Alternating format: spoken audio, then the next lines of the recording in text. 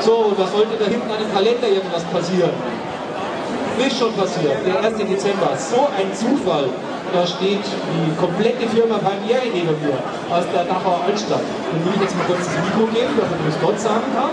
Und mal kurz erklärt, wer ist dran? So, der Chef ist dran.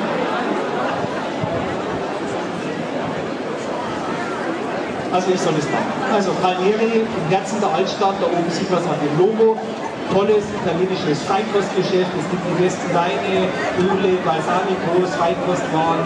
Äh, man kann auch sportlich sich betätigen, wenn man mal vorbeischaut und mit dem Chef selber spricht. Man kann vor allen Dingen auch dort toll essen. Es gibt immer einen Mittagstisch. Es ist jeden Tag geöffnet, außer sonntags. Und das Wichtigste, was Sie jetzt wissen müssen, vor allen Dingen alle Männer, der 24. Dezember ist, glaube ich, ein Montag. Da neigt der Mann dazu, noch gerne Geschenke kaufen zu müssen. Palmieri hat offen. Sie können bis wie viel Uhr? Bis 14 Uhr, also bis 13.59 Uhr kriegen Sie da noch so richtig geile Geschenkkörbe oder Flaschen Weine oder Gutscheine vor allen Dingen auch, irgendwas dergleichen.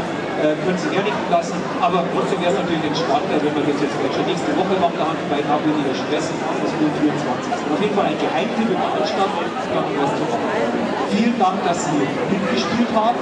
Wir schauen jetzt, dass wir die Gewinner noch erreichen. Sie können ab sofort wieder Lose kaufen.